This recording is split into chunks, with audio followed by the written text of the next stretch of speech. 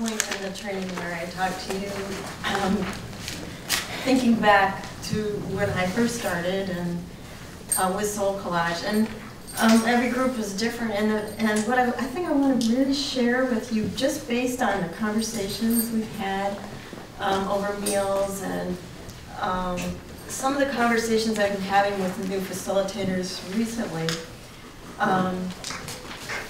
As Kylea was saying yesterday, you know, SoulCollage is a really an opportunity for you to develop your own authenticity, your own idea of who you are, and really, really discover and explore. Um, and part of being a facilitator is understanding what special gifts you bring to SoulCollage. And each one of you has something unique and special that you're bringing to this process. And it's not just what this process is bringing to you, it's what you're bringing to it. Uh, and, and in order to get there, um, you have this beautiful tool. It's called your deck. Some of you just have the beginnings of your deck. Um, some of you already have a fairly large deck. But that's your way of going inside and really finding what are my special gifts? Who am I? What's the authentic self that brought me to this workshop this weekend? And and it's not just about what I want to do with other people, but, but what is this calling in me? What is this about in my own personal growth, in my own journey? And this journey that you're taking isn't just, in my opinion, it isn't just for this lifetime. I mean, this is soul growth. This is really growth that's building uh, you, it's building uh, growth and healing for your family, for those that have come before you, and those that have, will come after you. I mean, this reverberates all throughout. And in order to do that, you really can use your deck to do some really deep inner work. And from my own personal experience, uh, I found SoulCollage because art was my way of healing. I'm a trauma survivor, and I used art to find out what was going on inside of me. And that's why I became an art therapist. So when I found Seena's book, I already knew that, you know, this is all about my process. This is all about how I have been healing without, but she's given me this beautiful structure, which I didn't have, this container. Uh, and she's showing me how I can tap into some of these scary places inside of me. Let them be seen, let them be heard, let them be witnessed you aren't just witnessing other people, you're witnessing yourself. And you're witnessing those parts of you that have been afraid to show themselves.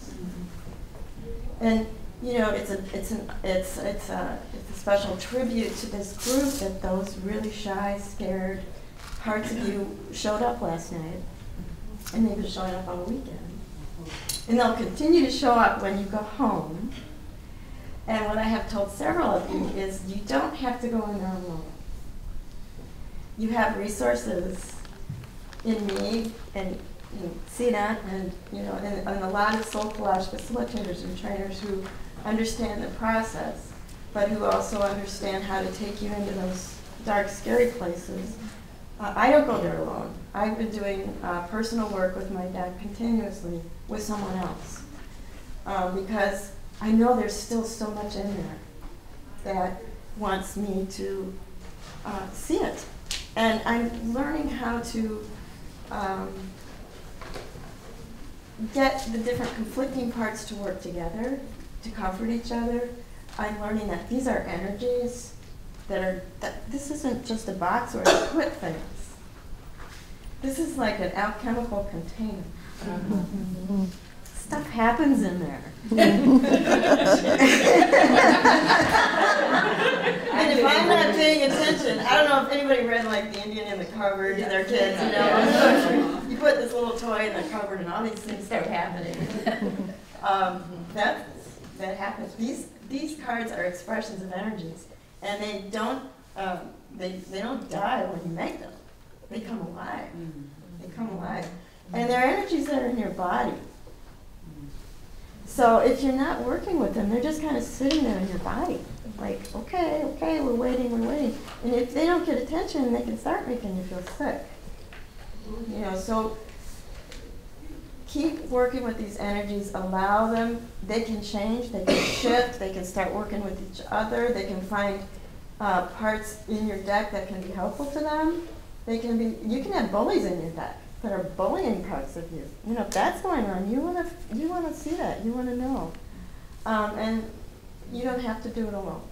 And in fact, I would encourage you to find someone, someone who understands the process, and maybe somebody in your community. And some of you are lucky enough to be in areas where there are lots of people who know the process and who are used to working in a therapeutic setting. Um, how, or do it with a friend. Some of you came with friends, you know, do group readings in groups. But find a way that, because it is a community process, um, you have somebody to help you go into those places where you can really pull up those gifts that are just waiting to be expressed. And finding your authentic brand of soul collage, and your authentic brand of you, and bringing that to the process. This is deep personal inner work, and when you do your work, it shows. People recognize it, and they want that. That's the that's the I want what she's having. and and they don't even know that that's what they're seeing. You know, it's my experience.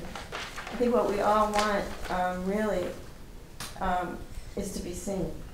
And the part of us that wants to be seen is the part of us that we're not seeing ourselves, you know, often. So um, that's your challenge. Just go home with your deck and really start working, seeing what's going on. Um, I love nothing more than taking somebody's deck and spreading it out on the floor, the whole deck, and just seeing what's going on. Yeah. Okay. You know, where, where are the repeated elements? Um, you know, who's on top of whom? Who's, who's trying to cover up somebody? You know, who, which archetypes are bossing the committee members? Things like that. Are there workshops like that? A, a very good segue.